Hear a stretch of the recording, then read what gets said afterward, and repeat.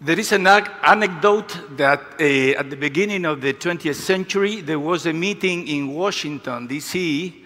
They were trying to set up a kind of a regional organization, what would many years later be the Organization of American States. And the Minister of Foreign Affairs met there, and, uh, and they were speaking in English in Washington. But then comes the Argentine Minister of uh, Foreign Affairs, and he started speaking in Spanish.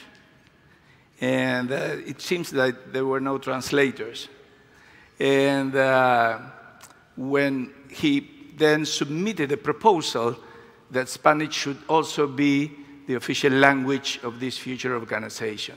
The, uh, the motion was approved, and once it was approved, he turned into speaking in English. And uh, I'm going to do the same, but the opposite. So I'm going now into Spanish. ¿Ok? Así que cambie y vamos a español. Eh, quiero agradecer a, las dos organizaciones que han, han hecho esto posible, al, al, Cato Institute y a la Fundación Libertad y Progreso. Por, increíblemente, eh, este, pertenezco a las dos y, también en forma, este, tal vez eh, por, primera vez, eh, eh, pertenezco a las dos en la misma posición, en el Consejo Académico de Libertad y Progreso y como un Adjunct Scholar del Cato Institute. Así que, bueno, gracias a las dos. Y quisiera también, en este momento, honrar la memoria de David Bose, quien este, durante décadas fue vicepresidente ejecutivo del Cato Institute y que lamentablemente eh, falleció hace dos días como resultado de una larga lucha, luego de una larga lucha contra el cáncer. Eh, eh, los resultados, la Argentina, unos 200 años atrás, un grupo de ilustrados argentinos comenzó a desarrollar lo que luego sería un marco institucional que hizo de la Argentina un milagro y que se convirtiera en, en un caso de esos eh, asombrosos que los llevara a los primeros puestos en términos de ingreso per cápita, progreso, digamos, en términos generales. Eh, esos ilustrados argentinos también establecieron un sistema educativo, tomando muchas ideas de Estados Unidos y de Europa, un sistema que estaba basado en la obligatoriedad de la escuela primaria, la gratuidad de las escuelas, la provisión de escuelas públicas y una serie de contenidos mínimos obligatorios. Eh, como ustedes saben, ese marco institucional de la Argentina le trajo grandes éxitos.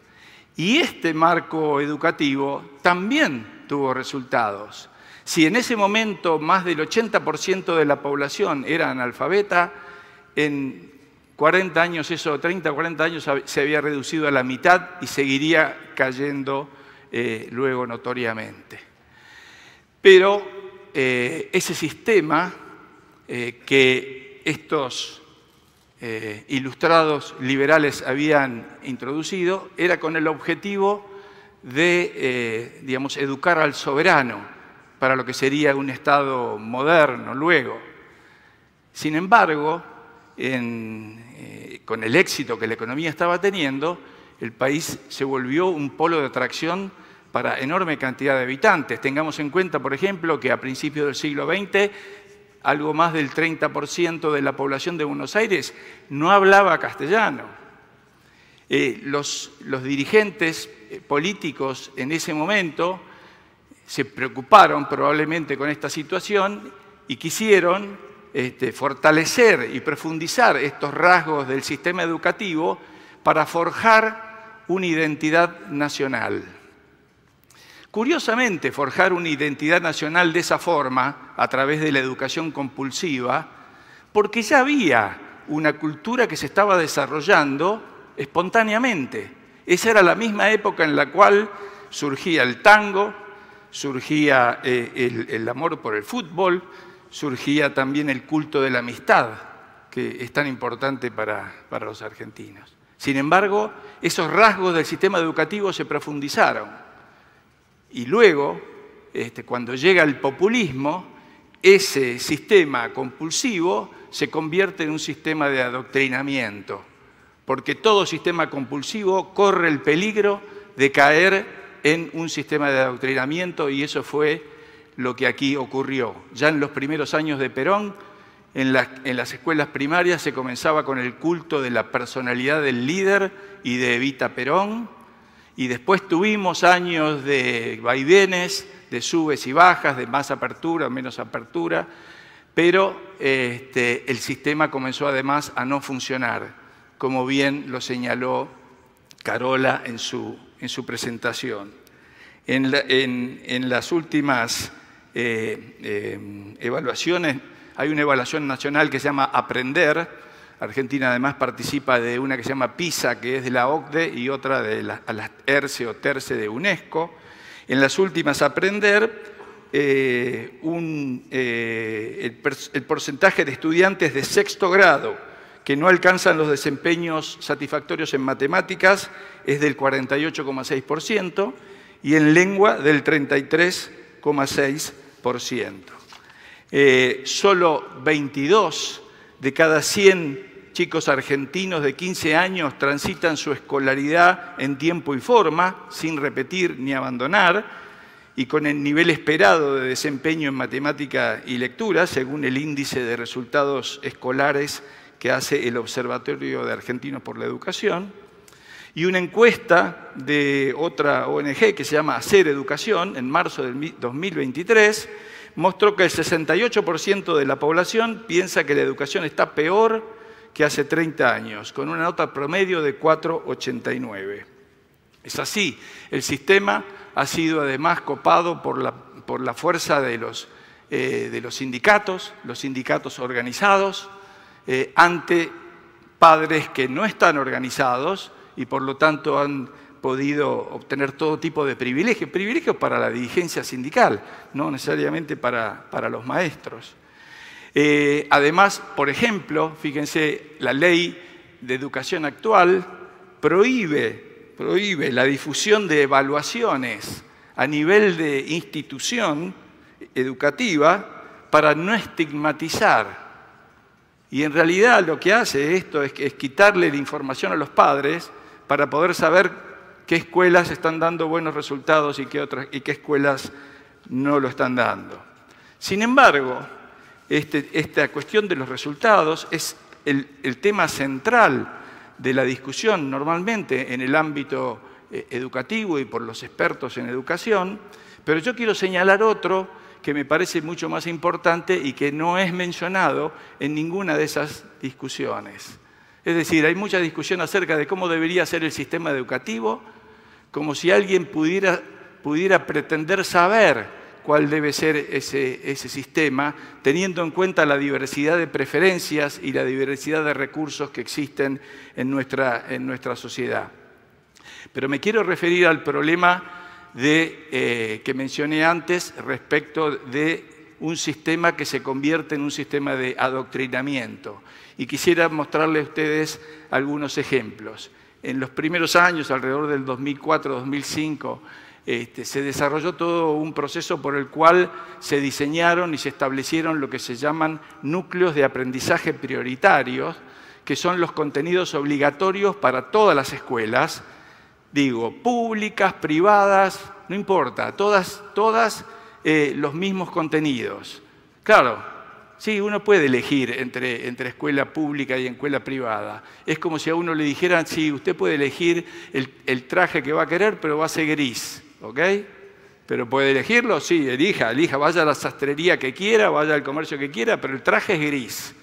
Eso es lo que es el, contenido, dejando muy poco margen para las escuelas privadas para que puedan agregar algún contenido eh, adicional. Ese contenido común es un contenido que está, eh, bueno, les voy a mostrar algunos, eh, algunos ejemplos. Ahí la educación es para educar en una sociedad donde el principal problema es la desigualdad, donde lo que hay que hacer es, luchar por, los derechos colectivos, donde la lucha por esos derechos colectivos se hace en la calle, eh, manifestando. Esa es la forma en la cual se obtienen las conquistas sociales que, son necesarias para eliminar o reducir supuestamente esa, desigualdad.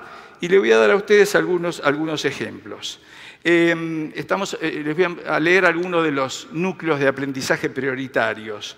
Estos son en, dos materias, formación ética y ciudadana es una, y otras son materias de ciencias sociales. Dice uno de ellos, el conocimiento de que eh, en el mundo actual conviven grupos de personas con diferentes costumbres, intereses, orígenes, que acceden de modo desigual a los bienes materiales y simbólicos, tomando ejemplos de nuestro país y de otros países en el mundo. Eso es lo que hay que tratar. No hay ninguna mención a la cooperación social voluntaria que ocurre, por ejemplo, en los mercados. Luego, y estamos hablando de segundo año, alumnos de siete años, el contenido es, este, en formación ética y ciudadana.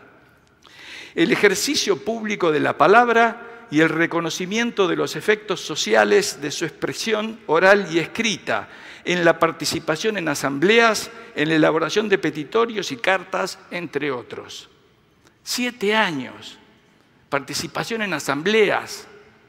En, el año siguiente se le suma la elección de delegados, ocho años, eligiendo delegados para asamblea, para hacer petitorios. Es una formación, quieren formar militantes de, sus cambios, de sus cambios sociales. Les voy a traer otros, tengo muchos, pero no, me da tiempo para todo. Este, siempre hay un, hay un énfasis en los conflictos, no hay ninguna mención del volumen de riqueza que se generó con la llegada del capitalismo y la revolución industrial y la cantidad de gente que pudo salir de la pobreza, dice así el, el NAP la comprensión de los cambios que introduce la revolución industrial en las formas de producir, en la conformación de la sociedad y sus conflictos, así como su influencia en las colonias españolas de América. Sobre los beneficios de la revolución industrial, nada, no hay nada. Eh, después, cuando se habla más adelante de las relaciones laborales, se habla del conocimiento de los derechos vinculados a las condiciones del trabajo, en particular de los jóvenes, y la reflexión sobre su flexibilización. La flexibilización de la relación laboral acá es considerada como algo claramente negativo. Luego se toman casos, este, debe enseñarse a los alumnos casos que son tragedias que ha vivido eh, la humanidad. Por supuesto, como van a ver, algunas de las que se mencionan acá, todos estaríamos de acuerdo en que estén allí. Y, entre, los, entre los contenidos entonces se menciona, por ejemplo, casos de discriminación y genocidio a los pueblos originarios, el pueblo armenio, el apartheid, el holocausto, Hiroshima y Nagasaki, entre otros. Esos otros no parecen incluir a los gulags o a las víctimas de la revolución china, ¿no? Según Stephanie Courtois, en Camboya murieron 2 millones de personas, en China 20 millones, en la Unión Soviética 20 millones, en el Holodomor, en Ucrania 5 millones y en Corea del Norte 2 millones. ¿Alguna mención de esto acá en los, en los núcleos de aprendizaje prioritario? Ninguna. ¿Qué más? Eh, además, el periodo de progreso que tuvo la Argentina es visto de esta forma. Eh, digo, el, periodo de progreso fines del siglo XVIII, XIX, eh, principio del siglo XX. El análisis de la integración de las economías primario exportadoras de América Latina en el mercado capitalista internacional entre 1880 y 1930 en relación con la consolidación y crisis de los regímenes político-conservadores oligárquicos, con especial énfasis en la situación argentina. Eh, ¿Es esa el aspecto determinante de la historia de América Latina? Luego señalan, por ejemplo, eh, la comprensión del impacto político, ideológico y cultural de la revolución cubana en América Latina y de las políticas de intervención de Estados Unidos en la región en el marco de los procesos de descolonización y de la Guerra Fría. Y por último, bueno, en ninguno de estos contenidos este, hay algo que sea razonable y básico de economía, ¿no? Lo único que aparece específicamente sobre economía, se los leo. Los mercados no existen, ¿no? Lo que existen son las relaciones de poder. Entonces, ¿cuál es el contenido en, economía? La reflexión crítica acerca de las relaciones económicas internacionales en el marco de las asimetrías de poder entre estados, a partir del análisis de los procesos de construcción histórica de los territorios. Estos, estos son los, contenidos obligatorios que tienen todas las escuelas aquí. Así que eh, yo creo que esto a mí me parece mucho o tal vez más importante que el hecho de que el sistema sea más eficiente o, eficiente, porque una pregunta que tenemos que hacernos es, ¿eficiente para transmitir qué? Esto. Eh, yo creo que e, esto es este, eh, un, problema, un problema central. He visto, he leído ahí muchas este, citas o referencias de eh, personalidades que dicen la educación es un arma para cambiar el mundo.